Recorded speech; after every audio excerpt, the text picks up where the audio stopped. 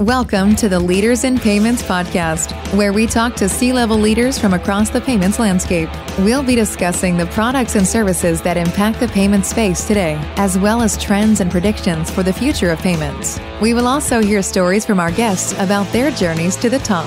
To fight fraud, you have to be in the position as a merchant to judge in real time whether a transaction is good or bad.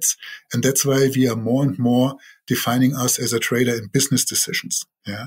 Um, since one is the decision whether a transaction is potentially a bad transaction and you rather reject it. The other is the decision whether this transaction might be so lucrative that you perhaps rather invest even in this transaction by upselling or dynamic pricing or these kind of things. So even our vision statement, we are saying today, um, Fraugster is enabling participants in the e-commerce universe to make the best possible business decision using artificial intelligence.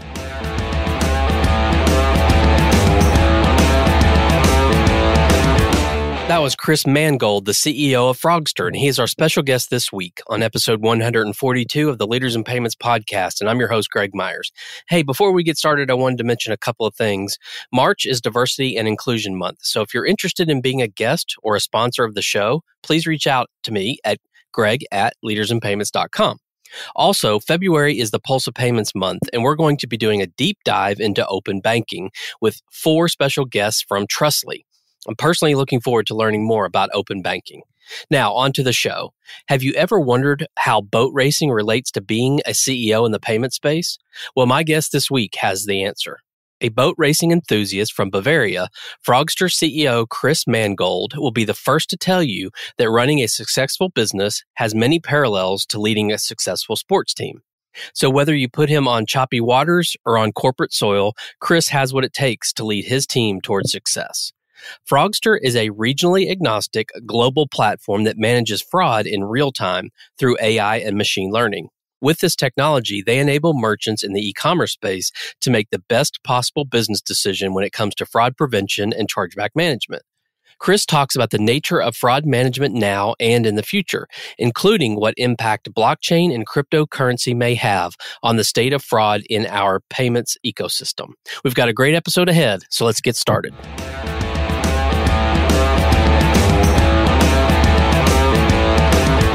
Hi, Chris. Thank you for being here and welcome to the Leaders in Payments podcast. Hi, Greg. Pleasure. Thanks for having me. Absolutely. So let's dive right in.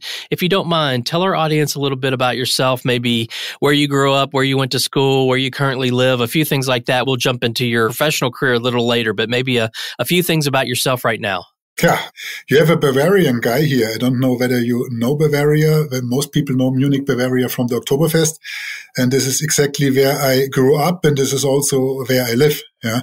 Why am I still living here despite traveling and working around the globe in the last 20 years in my career? I always came back and I always stayed based here since I just like the mountains and the lakes and the green southern German Bavarian surroundings so much.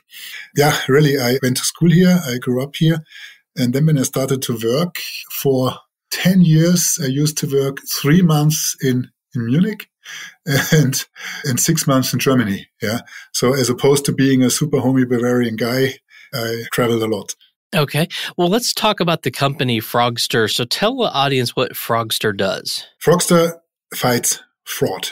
Yeah, to put it very simple. Very simple one is Fraugster keeps fraud away from e-businesses, from e-merchants and from PSPs. Yeah. And does this by the application of artificial intelligence in real time, super efficient and with as little as possible um, cutting into the flesh. We call it false positives. So avoiding denial of service to actually good transactions, which could look suspicious since you might know that the most juicy transactions are also the ones which could be fraudulent ones. Large checkouts, rare checkouts, checkouts which are impulse checkouts uh, at the light, late, at, late at night and things like that. So Fraugster fights fraud, but with our artificial intelligence, we are doing much more. Actually, to fight fraud, you have to be in the position as a merchant to, to judge in real time whether a transaction is good or bad. And that's why we are more and more defining us as a trader in business decisions. Yeah. Um, since one is the decision whether a transaction is potentially a bad transaction and you rather reject it. The other is the decision whether this transaction might be so lucrative that you perhaps rather invest even in this transaction by upselling or dynamic pricing or these kind of things.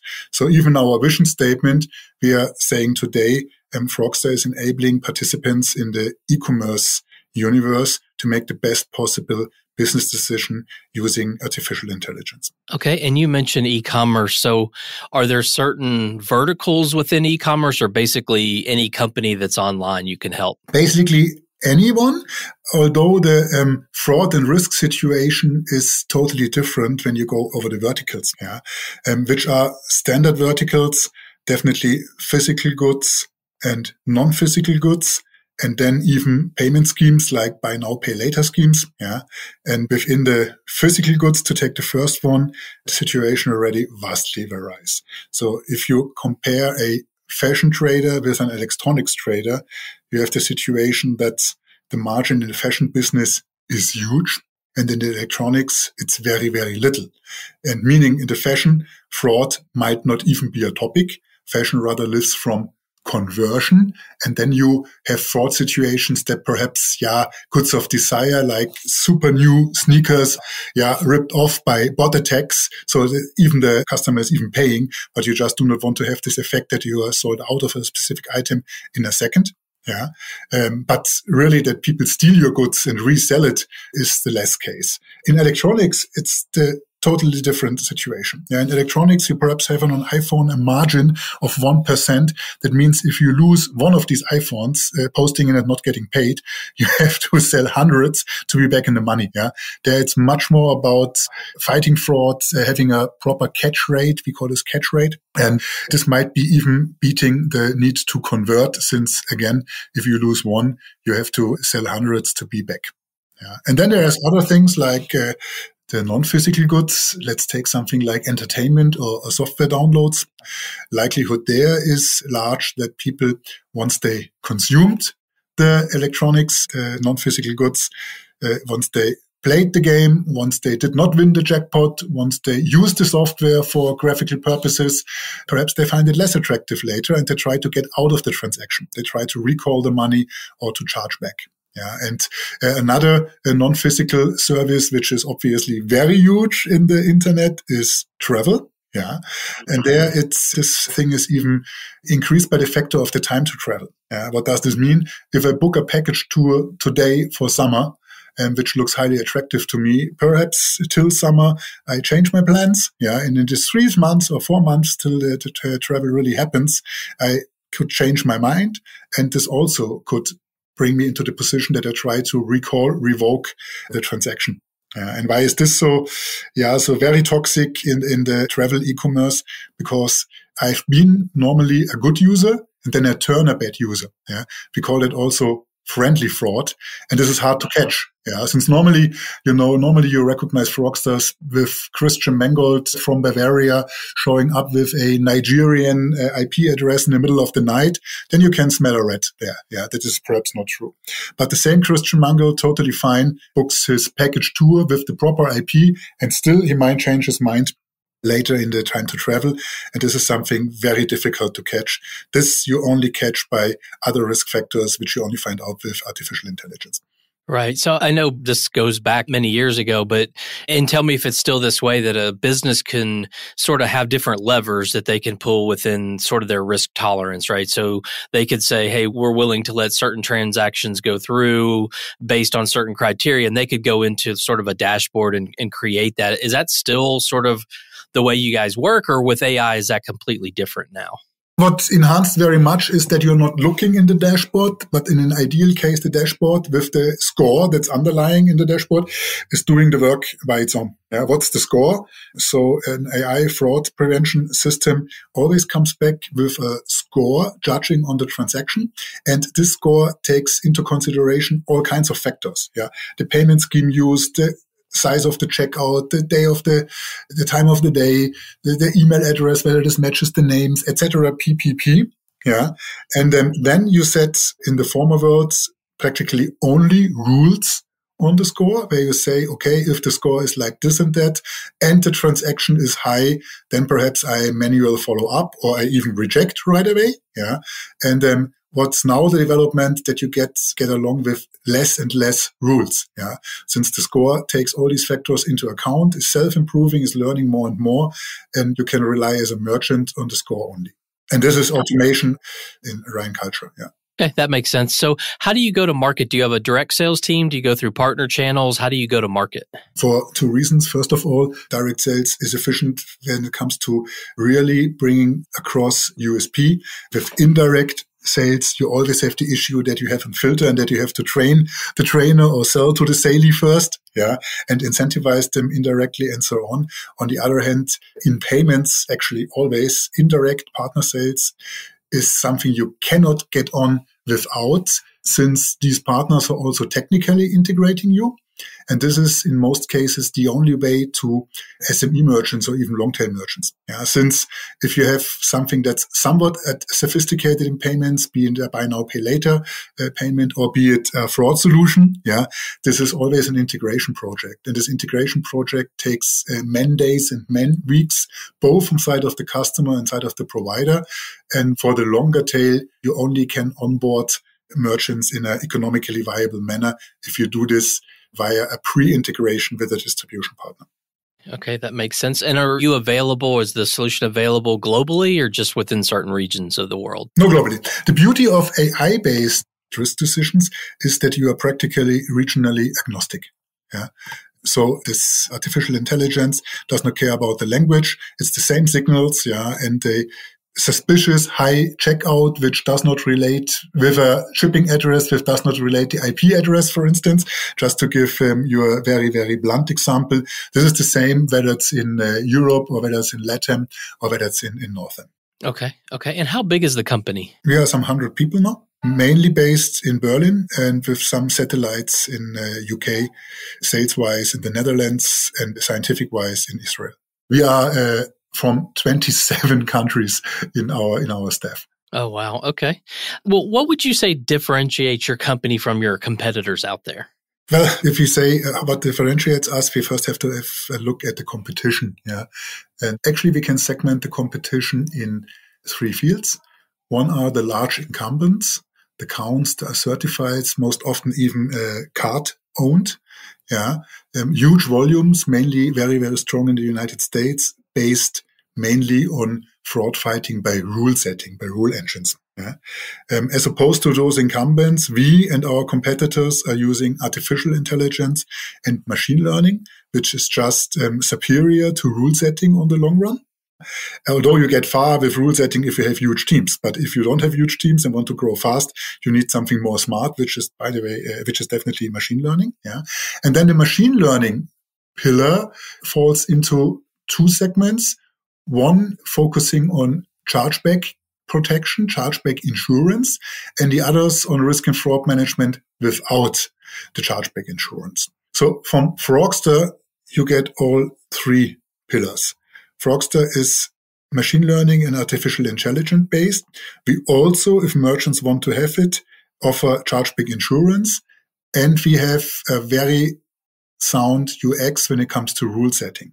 So this brings us in the position to have actually the most complete uh, suite of services to our merchants and distributors. And the next thing is that we are also believing in a life before and beyond fraud.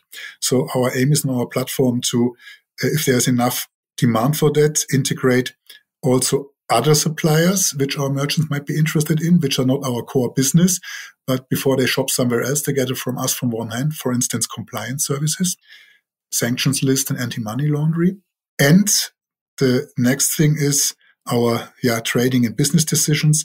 We are already today looking into upselling and cross-selling opportunities, uh, identification of that in an automated manner, which is, for instance, the first product we bring to the market, which is credit decisions, where we not only judge on the fraudulent or not fraudulent type of the transaction, but also on the amount of credit uh, the consumer might pay or might be able to serve. And this is this is the next thing. We are not the first mover in this market as compared to our competitors. We are rather one and a half or second mover. So we learned a lot And we see now that, for instance, the ones which focus only on the chargeback guarantee get huge volumes since you get more price for that for more revenue by transaction, but it's a one trick pony. And once, for instance, the market for chargeback guarantees diminishes, like we see it today in Europe with the PSD2, where there is no any longer fraudulent chargebacks, and then you're in a different place, yeah, a complicated place. And that's why we are already preparing now for the life beyond fraud with our up cross selling and revenue generation products. And where do you see the industry heading? So you can put it in the context of your product and the market you're in, but where do you see payments and therefore sort of fraud and those types of things heading in, say, the next two to three years? There will be less fraud in the internet. This is the case since um, there are very, very powerful players fighting fraud. Yeah. For instance, the card schemes or the PayPals, the huge wallets, all of them have a high interest of reducing fraud levels and increasing trust so that they can do, they can do higher transactions, higher amounts with the consumers with less risk cost. So this means in two years, perhaps too early, but in three to five years, you have to think about what other services merchants can receive or PSPs can receive from you. And this is then besides fraud services, definitely business intelligence services, especially when you talk about the artificial intelligence companies. You have to bring something to the market that brings them in the position to do better business decisions, to accept even more volume, not only in terms of fraud, but also in terms of credit. We had it before. Yeah. You have this buzzword buy now, pay later, which is huge. And as opposed to fraud, where everybody is against it. For instance, the credit function is something where everybody is for it. Yeah. Since buy now, pay later, be it for the credit cards, be it for the schemes, is something where you increase the purchasing power of the consumer. And this is something they want to have. So let's tap into these uh, revenue and volume generation areas rather than into pure risk fighting, since um, this will be definitely the trend over the next years. Okay. Where do you think, or how do you think blockchain and cryptocurrencies, how do you think they play into the future? this, this is, um, good. I do not know how much blockchain will help in the e-commerce, since for the time being it's rather business to business, or yeah, say hand selected business to consumer or state to consumer application. But this is exactly the right example. Yeah, if you take an analogy, blockchain will very soon perhaps make the notary services really and, and, land registers or something like that really redundant. Yeah. And this is then also the fact what a blockchain could do to a payment security or to a pure fraud provider, not in the near future, but in the far future. Yeah. Means this can enhance the trust into the market and means that to be still competitive in the market, you have to supply something else than only fraud information. Cryptos, well, crypto is just one application of blockchain based services. I don't know. This will be mainly, crypto will be mainly uh, another means of payment, which is for the time being not very popular in the internet. Yeah. And we all have to prepare to integrate crypto payments just as payment methods like credit cards, like wallets, like whatever um, this is a trend we will see, and this is a trend you will have to be comfortable with. Okay. Well, let's switch gears a little bit and talk about you. So, tell us about your professional career and your journey there, uh, how you got to be the co CEO of Fraugster. Yeah, interesting, interesting question. And also, now, by the way, I'm now in my in my 10th month. So soon it will be a year. And then we can look back for, for one year as co-CEO at Fraugster. I still have the recruitment talks very, very present. And sometimes you kind of draw your conclusions only after. And when we have these discussions, um, it came to me that in my last six career stages, the companies I used to work with were of sizes from 40 people to 10,000 people, yeah, of uh, startup to 1 billion revenue already. But all these six stations had one factor in common. I never joined a company in my last 10 years, which was older than six years. And I guess this sometimes brings you then to the conclusion what type of leader, what type of manager you are.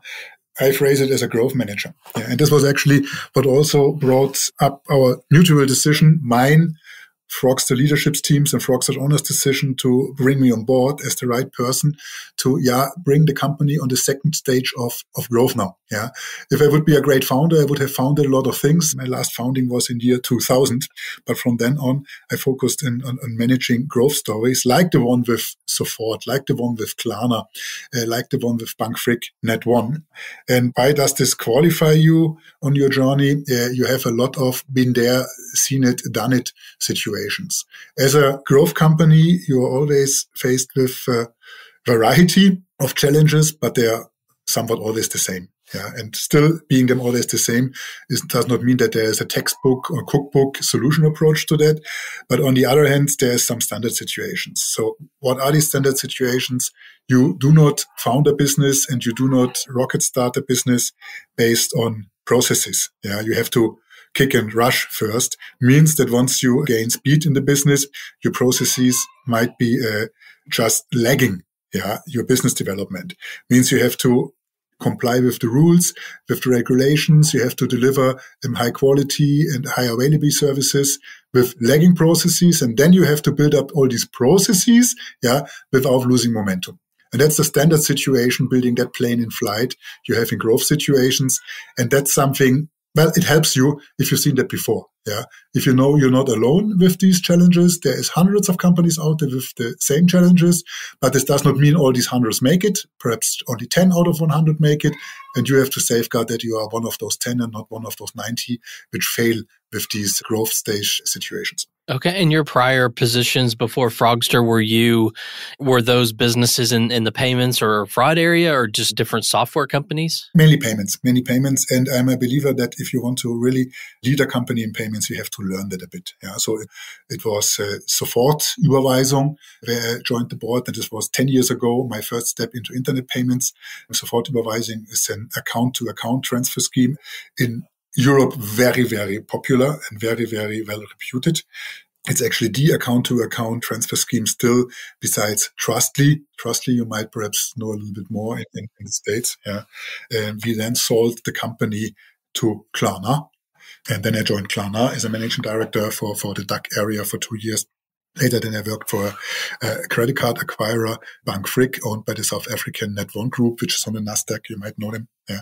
So you have to somewhat learn uh, the payments before you, or if you want to continuously succeed in a leadership role there, since this is uh, it's a regulated business, what you have to know, and it's it's very special. And then whether you come from the fraud angle or for the payment angle, that's the least concern, since you always have to balance conversion, fraud decisions, and reliability of the service. Sure, sure. So, as co CEO, your other CEOs, how do you all divide the responsibilities at the company? Ah, this is a good question. No, we just said we make a smooth transition. Yeah. If you join a new company as a new CEO, you risk to have huge cultural disruption, which is not wished and is peculiarly not wished in the Fraugster situation. That's why we said we allow ourselves a transition phase with um, the former, or, or the, not the former, but the founder of the company and the former alone CEO and me co-flying together for a certain time. Yeah. This means that I do all the operational things and the founder does rather the board addressing and the capital market addressing things. And um, yeah, already now to sneak, we will formalize this very soon. Um, once the transition period is over and we still maintain the sound culture, uh, very soon now, my colleague will step up as the executive chairman of the company and I will be the CEO. Okay. Okay. Well, that makes sense. So, what are some things that you're passionate about? So, maybe one work related passion and one personal passion. It connects a bit, yeah, since I believe that you can only work relatedly be passionate about things which also personally keep you enthusiastic. And I even use this example often with my teams. Yeah. I'm a race sailor. I'm sailing on boats since I can think. Yeah. I see a huge analogy between being successful as a boat racing team and as a company team or leadership team. Yeah. What does this mean? There is specialization on the boat. Yeah. There is different teams on a boat focusing on areas and their perhaps, perhaps they do not even know what the others do. Yeah. So the people on the helm do not even have a deep, deep, deep knowledge of what they on the bow do, but they have to click together. Yeah. And they are on a journey. A boat race takes three hours at least. Yeah. There are a lot of maneuvers. You don't know what comes. Yeah. You will never plan everything in advance. And you have to, as a team, face the challenges which you encounter during the journey, during the race. Yeah. And this is something you have to embrace. Yeah, there might be sports people which are doing rather individual sports, saying I want to be a tennis player, since then I do not have to rely on a team, or I want to be a ski racer or something like that. Or there are others who want to be part or leading a team altogether. Yeah. And sometimes perhaps even complicated ones. It's a different whether you're on a boat team or on a soccer team. Yeah. And they already have it running a complicated business with a lot of faculties. Yeah. Is very similar to doing a complicated sport as a team and as, an, as an individual player. And if you get satisfaction from getting these things over the finish line, then you can be likewise enthusiastic about these things in your professional life. I really take this an example often in my leadership uh, offsites that we say, let's see when we are a boat team, how would we work together? Yeah. Also, also on a soccer team to make it more simple, there you have strikers and you have middle midfield and you have defenders. Yeah. And it's, it's, just everybody has to stick to his rule and has to know how he supports the other one and you only win as a team. Yeah, I love both of those analogies. I, I, haven't thought of the boating one, but that certainly is a is a great analogy to business. So I always ask this question because I think everyone brings a unique perspective to this. When I started in payments about 15 years ago, there wasn't as much excitement around the industry. There wasn't as much investment. I don't even think the word fintech existed. Today, right, there's so much money being invested into it. It's a hot, sexy place to to work. And I think kids coming out of college or university, they look at payments as a, or fintech, however you want to reference it, they look at it as a potential career sort of market to be in. So, what advice would you give them if they're coming out of college? They say, Hey, I want to go and work in the fintech industry. What advice would you tell them? What should they do to be successful? First of all, do it since I'm strongly believing that the fintech industry is a booming industry. Yeah. Why? There's so much also coming over, spillover from the incumbent banks. Yeah. So only consuming the market that's today with uh, incumbent banks will be a huge market for uh, new techs and new fintechs. Yeah.